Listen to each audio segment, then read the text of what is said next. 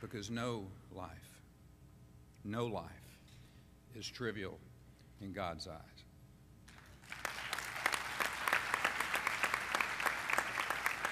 And the fact is, who are we to say that um, children born into the worst of circumstances can't grow to live successful lives? In fact, even the woman who filibustered the Senate the other day was born into difficult circumstances. She was the daughter of a single woman. She was a teenage mother herself. She managed to eventually graduate from Harvard Law School and serve in the Texas Senate.